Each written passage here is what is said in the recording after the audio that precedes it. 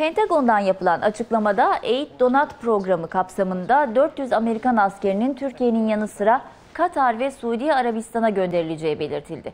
Pentagon sözcüsü John Kirby bu sayının bini aşabileceğini belirtti. IŞİD'e karşı mücadele etmek için bahar başlarında başlaması beklenen Donat ve Eğit programında bir yıl içinde 5000 Suriyeli muhalif eğitilecek.